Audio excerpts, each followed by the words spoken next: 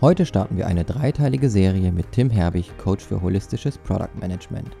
In der ersten Episode sprechen wir darüber, wie man für Menschen und Unternehmen die Produkte und Features entwickelt, die wirklich gebraucht werden. Dafür empfiehlt Tim die Product Discovery. Wer verstehen möchte, was passieren sollte, bevor auch nur eine Zeile Code für neue Features geschrieben wird und warum Revenue manchmal nicht die ultimative Kennzahl ist, sollte bis zum Schluss zuhören. Mein Name ist Ben Hamanus und ich führe euch durch die, Achtung, Mini-Jubiläum, 10. Folge von HubSpots The Digital Helpdesk.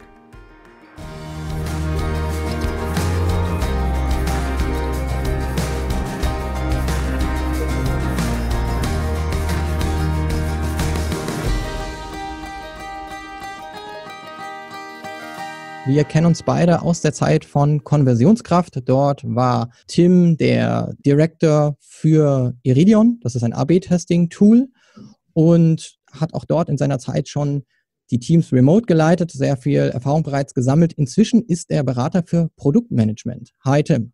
Hi Ben, schön, dass ich hier sein kann. Ich freue mich auch, dass wir wieder voreinander sitzen. Früher auch mal über die Calls und jetzt wieder. Also nichts jetzt Neues. Wir das Schnacken einfach auf, ist doch super. Genau, jetzt nehmen wir es auch mal auf ja. und lassen andere teilhaben.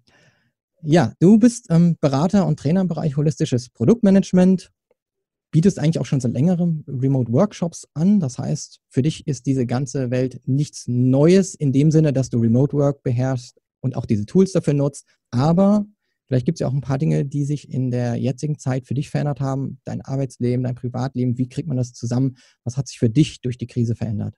Ja, also ich glaube, das, was, was viele Eltern, mit dem sich viele Eltern identifizieren können, inklusive dir, natürlich die große private Umstellung, jetzt sozusagen eine, eine, Home-Kita zu haben und Arbeit zu balancieren. Äh, meine Partnerin ist auch selbstständige Beraterin und Coachin und von daher balancieren wir uns, versuchen wir uns da gegenseitig auszubalancieren mit äh, Arbeitsblöcken und Kind bei Laune halten und uns gesund halten.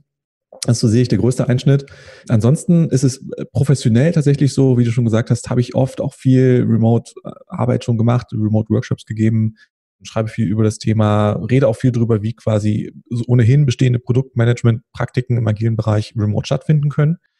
Und aber das Große, was sich natürlich verändert hat, ist für mich, dass bis jetzt war es eher so ein Push-Ansatz von mir zu sagen, das Firmen aktiv vorzuschlagen, so ey, wollen wir das nicht mal remote probieren, dieses Format, oder das könnt ihr auch remote machen.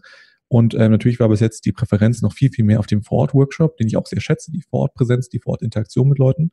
Und jetzt ist es eher pullmäßig. Also, dass ich Kunden, also zweierlei, also entweder Kunden, mit denen ich vor Ort Workshops geschedult hatte, sagen, geht das denn auch remote? Können wir denn trotzdem das Training, den Wissenstransfer stattfinden lassen? Geht das denn? Das ist natürlich ein, ganz schön, weil ich dann, die einfache Antwort ist dann ja, ähm, lasst euch überraschen. Und B ist es so, dass ich auch ohne ähm, quasi noch nicht bestehenden Kunden, sondern neuen Kunden noch Anfragen kriege, die sagen, ey, wir sind ein Produktteam, wir sind ein agiles Team, wir sind eine Firma, wir beherrschen gewisse agile Grundprinzipien im Büro. Wie übertragen wir das denn jetzt in diese neue Art und Weise? Und das reicht natürlich von der Diskussion über Tools bis hin zu Prozesse, Kultur, Zusammenarbeitsnormen etc. Das sind die beiden großen, beiden großen Veränderungen, die ich so erlebe. Okay, das heißt in diesem Sinne, die Herausforderung für dich ist die gleiche wie für mich und für äh, Millionen anderer Menschen. Erstmal, wie kriege ich jetzt Work-Life-Balance äh, ganz anders mal noch hin? ja. Und das andere ist, im Prinzip hat sich für dich selbst sonst äh, im Business, was dein Modell angeht, natürlich nicht viel verändert. Genau, nicht so viel, ne? Weniger Reisezeit sicherlich dabei. Ähm, und ansonsten waren ich, waren wir auch schon häufig ganz gut ausgestellt für wirklich gute Remote-Arbeit, Remote-Workshops, vom Mikro über Kameras. Ich habe neulich das erste Mal auf einer Remote-Konferenz gesprochen, da nochmal viel mit Setup justiert, dass es sich auch wirklich anfühlt wie ein hochqualitativer Vortrag und nicht nur in Anführungsstrichen wie ein verpixeltes Webinar so an den Stellen äh, so ein bisschen rumzuschrauben und trotzdem den Teilnehmern oder den, den Teilnehmern oder Kunden halt trotzdem einen, so ein hochwertiges Erlebnis zu bieten, was sie trotzdem viel mitnehmen können und nicht abgelenkt sind von irgendwelchen technischen ja, Unstimmigkeiten vielleicht. Interessanterweise war es auch so, dass ich zum ersten Mal so ein Tool, um virtuell in einem Workshop zusammenzuarbeiten, durch dich kennengelernt habe. Also wir waren ja mal zusammen in einem Workshop, den Stimmt. du gehostet hast. Ja. Und da haben wir an einem virtuellen Whiteboard, haben wir unsere Post-its dahin geklebt als Team. Ich glaube, wir haben von drei Standorten aus mindestens dort zusammengearbeitet. Auf jeden Fall. Ja. Ich glaube sogar vier, ehrlich gesagt. Oder sogar vier. Und ja. deswegen bist du mir da auch in Erinnerung sofort geblieben. Als jetzt die Zeit kam für Tooltips, bist du immer gut. Und ansonsten bist du auch sehr aktiv vielleicht für alle, die jetzt auch zuhören, auf LinkedIn findet man auch viel von Tim, also da auch reinschauen. Viele Tipps kann man sich auch da schon holen. Jetzt können wir unendlich reden. Die Idee mit dir war, das in drei Episoden aufzuteilen. Das heißt, wir schauen mal auf drei Themen, die ich bei dir gesehen habe, die ich total spannend finde. Das eine ist Product Discovery. Ich glaube, mhm. super wichtig gerade. Habe da auch schon Gespräche mit Startups geführt, die auch ganz schnell jetzt schauen müssen, wie können wir unsere Modelle umschwenken oder anpassen.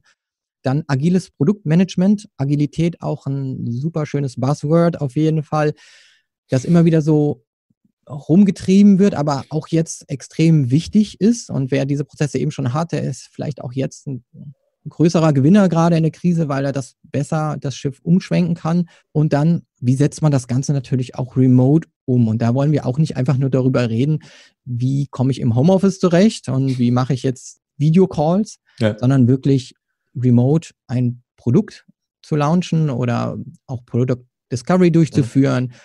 Teams zu führen remote, ja. wenn es um Produktentwicklung geht. Da gehen wir einfach ganz speziell mhm. rein. Das heißt, heute widmen wir uns der Product Discovery mhm. und vielleicht fängst du erstmal damit an, was ist überhaupt eine Product Discovery? Gibt es dazu eigentlich ein gutes deutsches Äquivalent zu dem Wort? Nee, äh, habe ich bis jetzt noch nicht entdeckt. Also, weil wenn man es wortwörtlich übersetzen würde, Produktentdeckung, ne, also die, die häufigste, die häufigste quasi äh, Überlappung, die du in Google findest, ist quasi Product Discovery im Kontext von Produktmanagement, Product Discovery im Kontext von, wie mache ich mein Produkt auf Amazon sichtbar, also im E-Commerce-Kontext. Und Produktentdeckung geht leider noch mehr so ein bisschen in diese Amazon-Produktentdeckungsrichtung. Deswegen äh, bleibe ich da bei meinem äh, eingedenglischten Begriff. Also das ist nicht mein Begriff, aber bei dem Begriff, der eigentlich ganz gut funktioniert. Und im Kern gibt es natürlich viele, viele Vorstellungen. Das, was ich gerne kommuniziere, basiert darauf, dass Product Discovery ist ein Begriff, der wurde schon 2007 von, von Marty Kagan, einem so der, der ganz großen Produktmanagements geprägt.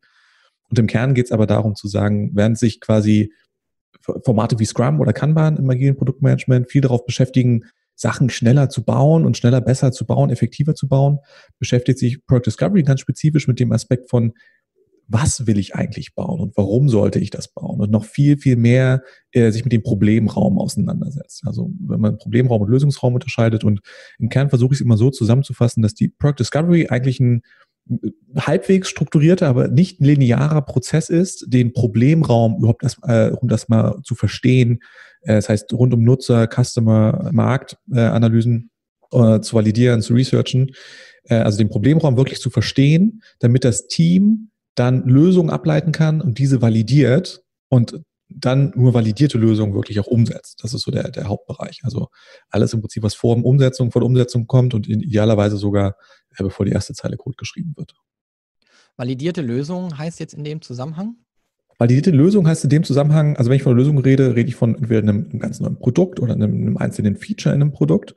Und ähm, idealerweise ist es so, dass ich ja das Produkt, es gibt natürlich den Ansatz zu sagen, ich baue eine ganz schlanke Version eines Produktes und gucke dann am Markt, was damit passiert. Dieser sogenannte MVP-Ansatz, geprägt von Eric Ries, Lean Startup. Und Product Discovery versuche ich die Leute, in dem Kontext versuche ich die Leute noch zu ermutigen, aber zu sagen, denk mal an diese Idee, die du hast und denk mal an die grundlegenden Annahmen, die du hast. Was muss auf jeden Fall wahr sein oder eintreten, damit dieses Produkt auch am Markt fliegt? Und was sind vielleicht abstrakte oder einzelne Elemente oder Aspekte dieser Idee, die du auch schon validieren kannst mit anderen Formaten? Und ein Beispiel könnte ja sogar sein, okay, eine Grundannahme hinter einer Lösungsidee, ich nehme jetzt mal das Beispiel, sagen wir mal, wir bauen ein Computerspiel und wollen äh, am Ende haben das Ziel, unsere Weekly Active User zu steigern. Und es gibt irgendwie die, das Feature, eine neue, eine neue, einen neuen Newsletter rauszuschicken, der Empfehlung der Freunde äh, enthält, als eine Idee, die hochkommt. Und dann wäre ja die Frage, was sind die grundlegenden Annahmen? Und so ein paar zugrunde liegende Annahmen wären halt sowas wie, Nutzer sind überhaupt interessiert an einem Newsletter. Das ist eine Annahme, die auf jeden Fall wahr sein muss, damit dieses Produkt überhaupt funktionieren kann. Wie kann ich das Interesse am Newsletter testen? Ja, schicke ich vielleicht eine Survey raus oder befrage ich meine Spieler einfach und finde das raus? Lesen sie andere Newsletter? Oder welche Inhalte müssen da rein? Das kann ich auch über Nutzertests rausfinden. Und das sind nur quasi all die Fragestellungen, die ich erstmal versuche zu beantworten, bevor ich mich überhaupt entscheide, wirkliche Entwicklungs, mit meinem Team Entwicklungsressourcen und Entwicklungszeit in die wirkliche Entwicklung der Lösung auch zu stecken. Deswegen bin ich auch nochmal auf diesen Punkt Validität eingegangen, weil man ja doch denken muss, okay, irgendwie muss ich ein Produkt entwickeln und ganz sicher kann ich mir ja nicht sein. Klein Ansatz hier, aber nochmal trotzdem ganz so nur einfach nach Bauchgefühl sollte man nicht vorgehen, genau. sondern irgendwo braucht man schon einen Indikator dafür, dass die Idee, die man hat, auch wirklich in eine Produktion gehen sollte. Genau, wobei das ist wirklich auch immer sagen, sag ich mal, der, sozusagen der, die letzten, eigentlich so die letzten 30 Prozent der Discovery. So die ersten 70 Prozent beziehen sich wirklich eigentlich komplett darum, erstmal Klarheit darüber zu haben, was für einen Problemraum gucken wir uns eigentlich an? Warum ist dieser Problemraum interessant für uns als Unternehmen? Und haben wir den Problemraum auch wirklich verstanden? Ja, also wirklich sich darauf zu fokussieren, bevor ich mich dann erst so zum Schluss quasi mit den, mit den bunten Lösungen beschäftige, und das ist natürlich die größte Falle, die ein Team haben kann, zu sagen, äh, Discovery wird mit einer Lösung gestartet, äh, ist irgendwie so, hm, dann gestaltest du die Lösung schöner aus, aber du challengest nicht wirklich nochmal, ob diese, ob, ob das Problem überhaupt existiert. Und dann entscheidest du erst, lohnt es sich, ein, eine Lösung für dieses Problem zu entwickeln oder zu definieren. Und wie würde ich jetzt beginnen, wenn ich jetzt sage, okay, wir machen uns auf den Weg zur Product Discovery?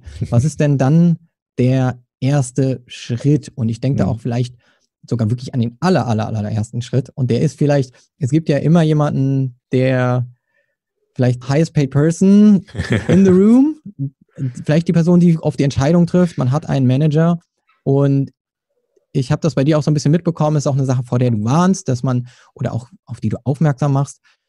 Schaut bitte, dass es irgendwie eben nicht so ist, dass äh, top to bottom irgendwie vorgegeben wird. Äh, ja, das ist irgendwie ein schönes Projekt. Ich hätte das gern umgesetzt. Das ist ein Produkt, das, von dem ich als CEO denke, das brauchen wir jetzt. sondern dass man schaut, dass man wirklich im Team erörtert, was genau. wird wirklich benötigt. Und wo setzt man denn da an? Wie kommt man dann da jetzt überhaupt erstmal hin, eine Product Discovery als Unternehmen starten zu können? Ja. Eine, witzigerweise sind die, ist, finde ich, der, der absolute Grundstein für eine, sage ich mal, echte Product Discovery liegt gar nicht so sehr in der Product Discovery an sich, sondern darin, wie ein Unternehmen, ich nenne es gerne, die angrenzenden Bereiche eigentlich aufsetzt. Also wie zum Beispiel die Produktstrategie, die Produktroadmap und auch Produktziele aufgesetzt sind im Unternehmen. Weil am Ende des Tages, wenn in manchen Firmen leider ist eine Strategie, wird ausgedrückt in Form von Feature XY ist live bis Ende des Jahres. Ja, das, so glaubt man es kaum. Manche Firmen sehen das als Strategie. Wenn das der Fall ist, hat ein Team natürlich gar nicht den Freiraum, überhaupt eine Discovery zu machen und eine neue Lösung zu entdecken. Das ist ein wichtiger Punkt, dass ein Team auch versteht, was ist denn die Produktstrategie der Firma und wie, in welche Richtung soll ich denn als erstes gucken? welchen Problemraum wollen wir als Firma denn gucken, weil wir da entweder eine wirtschaftliche Opportunity sehen oder eine Wettbewerberbewegung uns dazu zwingt, äh, dahin zu gucken. Der zweite Punkt ist dann das Thema Ziele. Also wie werden denn dem Team Ziele gesetzt und woran wird der Erfolg eines Teams gemessen? Und auch da ist es natürlich ganz spannend, gibt es die beiden, die beiden großen Diskrepanzen. Auf der einen Seite wird Erfolg in, leider in vielen Firmen daran gemessen, wie viele Features am Ende des Jahres live sind. Ich kann mich erinnern, ich hatte mal Diskussionen äh, in Firmen, wo irgendwann jemand gesagt hat, wir brauchen gar nicht über Discovery reden. Mein Bonus hängt daran, dass ich am Ende des Jahres ähm, sechs Produkte live habe. Okay, in dem Fall brauchst du wirklich keine Discovery machen, weil das wird nie Erfolg, das wird nie wirklich angenommen werden, dieses Prinzip. Also die Frage, wie Ziele gesetzt werden von, wird ein Team wirklich ermutigt von, hey, verändert diese Metrik um Faktor XY, ist halt ein viel breiteres Ziel, was wirklich auch die Autonomie aufmacht, neue Lösungen zu finden, Problemraum zu verstehen, versus Erfolg sieht aus im Sinne von sechs Lösungen live. Das ist so der zweite Faktor rund um Ziele. Der dritte Faktor ist das Thema Roadmaps. Kennen wir auch alle. Im schlimmsten Fall diese bunten Gantt-Charts mit wasserfallähnlichen Abhängigkeiten. Und das ist genau das Gleiche. Also du kannst auch so ein Ziel setzen für ein Team, vielleicht was eine Metrik äh, beinhaltet. Wenn du das Team aber darauf committest und sagst, okay, jetzt sag mir mal bitte direkt nach den die Ziele definiert sind, sag mir, welche drei Features wann genau live sind, hat das auch nichts mit Discovery zu tun, weil das Team auch dann keinen Freiraum mehr hat, wirklich erstmal sich ähm, den großen Fragestellungen zu widmen. Also diese drei umgebenden Faktoren müssen auch eine gewisse Klarheit und eine gewisse Autonomie des Teams erstmal unterstützen überhaupt, dass ein Team sich befähigt fühlt und berufen fühlt, die Fragen einer Discovery überhaupt zu beantworten.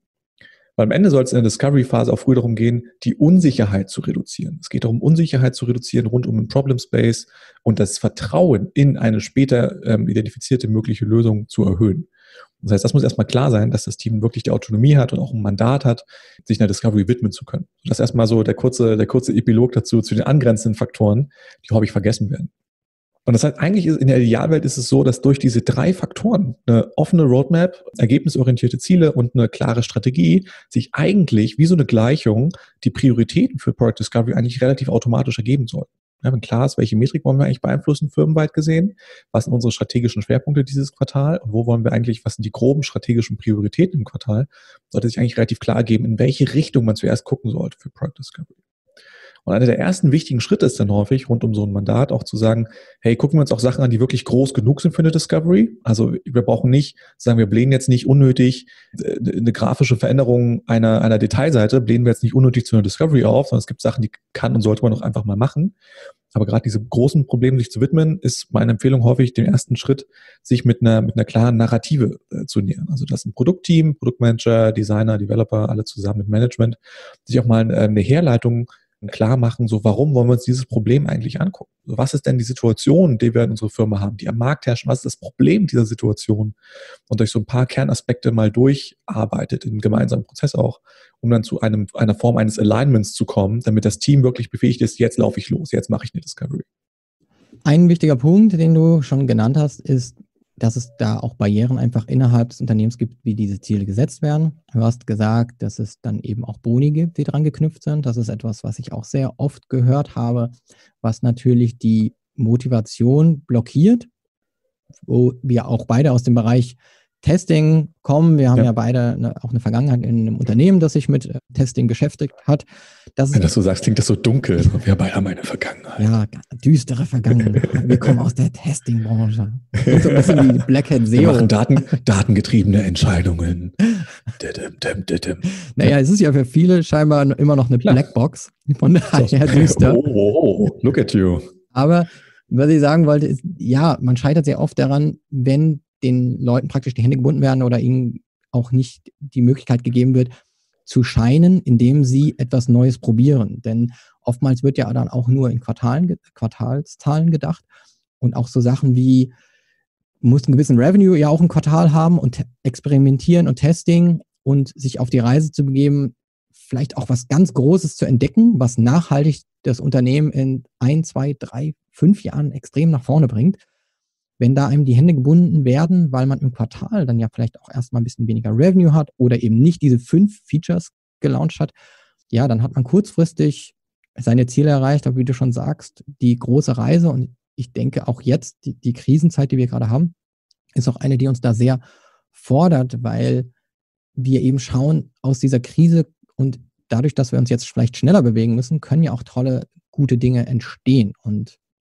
sicherlich sind bei dir auch schon Gespräche gelaufen, wo Kunden kommen, die jetzt vielleicht schnell sich da auf eine Product Discovery begeben wollen? Ähm, ich weiß nicht, ob vielleicht bei dir der eine oder andere Kunde sind Startups, sind es jetzt äh, größere Unternehmen? Wer klopft bei dir an und möchte jetzt vielleicht auch in Bezug auf diese Krise sich da entwickeln? Mhm. Also ich, ich arbeite, also mit dem, sage ich mal, dem ganz kleinen Startup, was quasi gerade so mit der ersten Seed-Runde noch so jeden Tag äh, eine andere Strategie hat, arbeite ich gar nicht so häufig. Die sind auch, glaube ich, jetzt gerade in einem nochmal viel radikaleren Modus sagen so jeden Tag neue Spaghetti gegen die Wand werfen, quasi und gucken, was kleben bleibt. Product Discovery ist auch vor, äh, für mich auf jeden Fall, oder was ich predige, ist, es geht nicht, auch nicht darum, dass du Sachen machst, nur weil du sie machen kannst. Das ist ja häufig so ein, so ein Fehlschlag. Ne? Es ist irgendwie, guckst mal auf eine Effort-Impact-Matrix und alles, was wenig Effort ist, machst du einfach. Und das ist aber genau eben nicht das, was mit Product Discovery ist, sondern das bedeutet halt auch, den strategischen Prioritäten, die du sei es vor Corona hattest oder die du jetzt neu ausgerichtet hast, diesen strategischen Prioritäten treu zu bleiben und denen zu folgen und nachhaltig zu sein und einen gewissen Aspekt halt auch drauf zu arbeiten, hey, worauf arbeite ich denn in die Zukunft hin? Ja, ich habe gestern so, ein schönes, äh, so eine schöne Präsentation von Sina Schrader gesehen, wo, sie ganz klar auch dafür werben, sozusagen, ey, wir lass uns jetzt an der Zeit nach für nach Corona arbeiten. Lass uns jetzt die Grundlagen legen, lass uns jetzt die Grundlagen legen für Produkte für den Kunden. Und das fand ich ganz interessanten Aspekt. Und natürlich habe ich auch oft, oder bringe, versuche ich einen sehr pragmatischen Ansatz mit in Trainings und Beratung zu bringen, sagen, ey, du musst tun, was du tun musst. Ja, manchmal ist es eben so, wenn du halt sagst, du brauchst den nächsten B2B-Deal und der kommt nur mit dem Feature und es ist wirklich so, du hast hohe Validität, dass das passiert, dann bau das Feature, close den Deal, du brauchst das Geld. Das ist so. Ne? Alles andere ist eine Realitätsverweigerung. Und trotzdem aber auf dem Kopf zu bleiben, zu sagen halt, hey, ich baue nicht nur wahllos Sachen vor mich hin, sondern ich challenge mich im Team auch immer selber, was ist denn, wie groß ist denn die Signalstärke eines Beweisstücks, sage ich gerne. Also wie, wie valide ist dieses Beweisstück wirklich, dass du in eine bestimmte Richtung gucken sollst und in eine Richtung läufst. Und das glaube ich eben, dass gerade, um zu deiner Frage zurückzukommen, das gerade wichtig ist, trotzdem eben fokussiert zu bleiben. Und die meisten Firmen, mit denen ich spreche, fairerweise ist es so, was da Weiterbildung angeht, grundsätzliche Weiterbildung hat gar nicht so viel mit der Krise zu tun, sondern die sagen, ey, wir haben Product Discovery vielleicht noch nie richtig gemacht, wir haben immer sehr opportunistisch gebaut. Discovery war bei uns nur Ideen diskutieren, wie können wir das anders machen? Und dann ist eher so der, der Layer, der oben drauf liegt, wie können wir das in dem Remote-Team möglich machen? So, das ist eher so die Situation, in der ich häufiger zu tun habe gerade. Okay, also in dem Sinne arbeitest du mit Unternehmen, bei denen die Grundsteine doch eher dann schon gelegt sind? Genau, das sind eher Mittelst genau, Mittelständler bis Corporates, die halt eine gewisse Solid Grundsolidität haben, die auch einen gewissen, sage ich mal, Grund-Product-Market-Fit am Ende des Tages haben und sicherlich auch viele Herausforderungen in ihrem Business auf jeden Fall grundsätzlich haben wo es aber eben darum geht, so ein bisschen die Arbeit am Produkt auch so aufs nächste Level zu bringen und halt zu sagen, hey, äh, in den frühen Tagen von einem Startup hat der, hat der, der Founder vielleicht so ein paar brillante Ideen und die baust halt einfach durch, aber irgendwann kommst du halt damit nicht weiter. Einfach nur Sachen gegen die Wand zu klatschen, äh, zu gucken, was kleben bleibt. Hast du für uns vielleicht nochmal kurz ein paar Tipps? Wie kann man denn wirklich mal kurz zuhören und feststellen, was sind die Probleme, die meine Zielgruppe da draußen hat? Vielleicht einfach mal so zwei, drei Tipps, die man hat, um mit der. Zielgruppe zu kommunizieren, weil ich das Gefühl habe, unheimlich viele Unternehmen, die sind da noch nicht so kundenzentriert, dass man wirklich sagen kann, die wissen wirklich, was da passiert und haben wirklich eine Ahnung, an was sie arbeiten sollen. Total. Ich glaube, ich versuche mal, ich versuche aufs drei runter, runter zu, runterzubrechen. Ich glaube, eine Sache, die ich gerne Leuten mitgebe, was auch viel damit zu tun hat oder an die Richtung geht, von was kann ich jetzt tun. Viele Firmen sind krass auf dieses ne, Datengetrieben, ich brauche Big Data, ich brauche große Analysen fokussiert und das ist in dieser quantitativen Research und quantitativen Validierungsecke.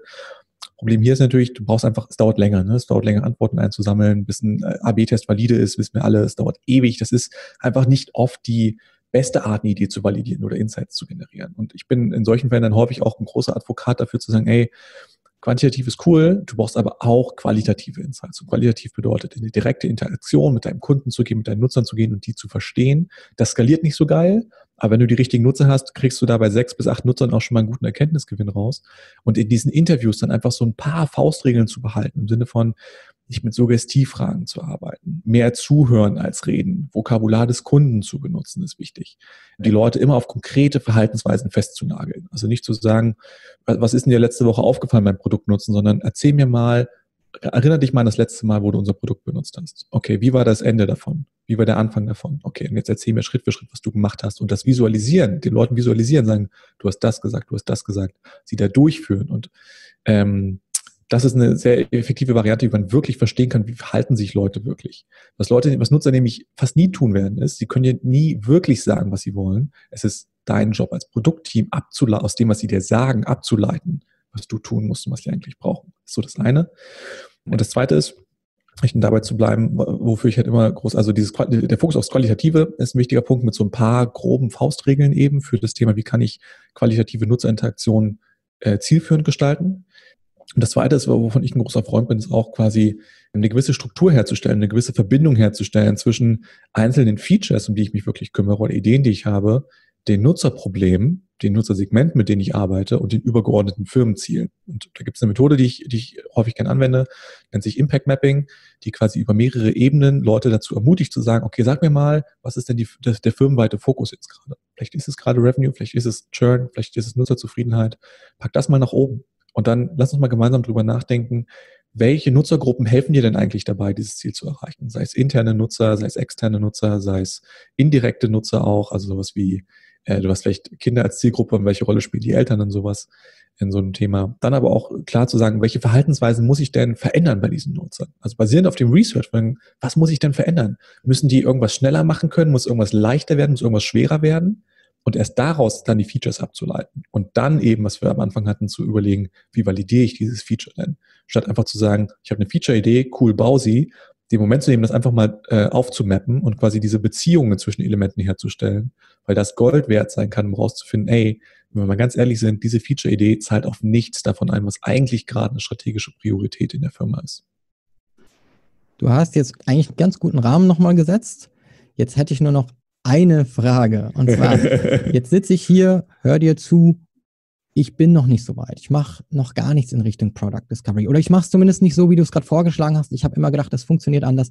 Was tue ich morgen, um mich auf die Reise zu begeben und um dorthin zu kommen zu den ja. Dingen, die du gerade geschildert hast?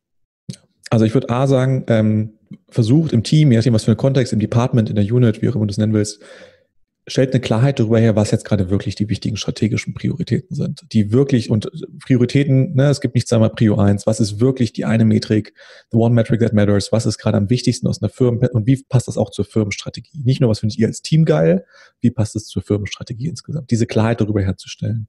Und dann mal einen echten Blick darauf zu werfen, woran arbeiten wir jetzt eigentlich gerade jeden Tag? Wie sieht unser Backlog aus? Was ist gerade in unserem Sprint drin? Wie voll ist das Kanban-Board? Und passt das eigentlich dazu? Zahlt das darauf ein? Und sich ehrlich zu überlegen in der Zeit, wo wir zielgerichtet arbeiten sollen, fokussiert arbeiten sollten, zu sagen, hey, ist es eigentlich wirklich, zahlt es darauf ein, macht es Sinn, das weiter zu verfolgen oder sollten wir nicht lieber im Team oder mit dem Stakeholder auch überlegen, das ist zwar eine coole Idee, zahlt aber gerade nicht auf das ein, was wirklich für die Firma zählt. Das würde, diese beiden Startpunkte würde ich machen und ich glaube, alles andere im Sinne von, ey, wir müssen mal, wir verstehen gar nicht, was die Nutzergruppe braucht, wir haben gar keine Ideen für dieses Problem, wir wissen gar nicht, wie man es validiert. Das sind Folge, Folgesachen, die fast organisch dann so ein bisschen wie Puzzlestücke zusammenkommen. Leute in den Raum zu bringen und echte Ideation zu machen für Nutzerprobleme, Experimente aufzusetzen. All das würde ich sagen, äh, kommt häufig danach. Aber wenn du diese Klarheit nicht hast über die Richtung und die Prioritäten, hackst du Holz und hast keine Zeit mehr, die Axt zu schärfen. Das ist, glaube ich, so ein schöner Spruch. Sehr gut. Tim, die eine Metrik oder die wichtige Metrik, die jetzt für die Unternehmen zählt, was ich auch schon öfter mal gesehen habe oder gehört habe, ja, die wichtigste Metrik ist Revenue. Ist das eine wichtige, ist das eine Metrik, an der man sich orientieren kann? Ich glaube, es ist okay, das zu machen. Am Ende des Tages, wenn wir über, über Ziele reden, das machen wir im nächsten Mal, glaube ich, auch noch über Ziele, dass grundsätzlich Ziele für ein Team auch immer ganzheitlich sein sollten. Also ich glaube daran, dass halt das quasi Performance-Ziel auch immer mit einem Qualitäts- und Nutzerzufriedenheitsziel ausbalanciert sein sollte, wenn man wirklich Erfolg misst, ganzheitlich, dass ein Team also auch das angucken sollte. Ich glaube, Revenue ist also fair, ne? Wenn du ein Business bist, was halt eher mit einer dünnen Marge unterwegs ist, dann ist jetzt halt Cashflow gerade einfach extrem wichtig. Das ist auch okay. Ich glaube, die ein bisschen langfristigere Auslegung wäre halt zu sagen, naja, also Cash ist zwar das eine, aber wie wäre es denn so Churn? Churn ist ja fast so eine Art Proxymetrik im Subscription Business zum Beispiel für Revenue. Ist halt ein bisschen mittel- bis langfristiger. Du könntest genauso sagen, ey, wenn wir jetzt nicht ad hoc äh, aktionistisch sein müssen, vielleicht ist jetzt auch schon mal ein, also neben dem Delivery Track, der sich auf Revenue fokussiert, vielleicht mal einen Discovery Track aufzumachen, der sich mit Churn beschäftigt, die mittel- bis langfristige Investition, um das Business halt weiter zu stabilisieren. Weil wahrscheinlich ist deine Marge so dünn, weil du einen riesigen Churn hast zum Beispiel. Oder, und der resultiert vielleicht aus einer schlechten Nutzerzufriedenheit oder irgendwas in der Richtung. Gut, kommen wir zum Ende. Tim, wenn man mehr von dir lernen möchte, dann folgen noch zwei weitere Episoden mit dir. Aber so sieht's aus. man kann sich auch natürlich schon auf LinkedIn mit dir vielleicht verknüpfen oder zumindest ja. dir folgen und erstmal schauen, was du so machst. Wenn das spannend ist, kann man ja immer noch die ähm, Anfrage schicken auf LinkedIn. Zum Glück gibt es ja, diese gerne. Unterschiede inzwischen. Und ansonsten ja. findet man auch viel interessanten Content auf deiner Webseite herbig.co. Genau, ganz wichtig. .co, .com kann ich mir noch nicht leisten. Es ist wirklich kein Tippfehler. okay. ähm, Gibt es da irgendwas ganz Bestimmtes, wo du sagst, passend zum heutigen Thema, das sollte man sich unbedingt von dir anschauen? Äh, ich habe zum Thema Product Discovery logischerweise ein paar Ressourcen drauf. Ich habe einen großen äh, Artikel mit vielen Details. Ich habe äh, ein Free Webinar mit so konkreten Tipps auch. Ich habe auch einen E-Mail-Kurs, der dich so gerade durch dieses Thema Impact Mapping, erste Discovery-Schritte leitet. Die, die finden automatisch den Weg zum Nutzer eigentlich ganz gut, wenn man auf der Website ist. Zweifelsfall für den Newsletter eintragen und den Rest übernimmt meine E-Mail-Sequenz dann für euch. Alles klar. Ich danke dir vielmals, Tim, für die heutige Gerne. Zeit und wir sehen uns in der nächsten und hören uns in der nächsten Episode. so sieht's aus. Bis dann. Bis dann. Dankeschön. Ciao.